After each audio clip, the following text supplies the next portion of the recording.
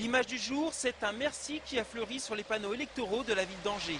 Un merci à l'initiative de l'équipe de Jean-Claude Antonini, accompagné du score réalisé face à Christophe Béchu lors des élections municipales.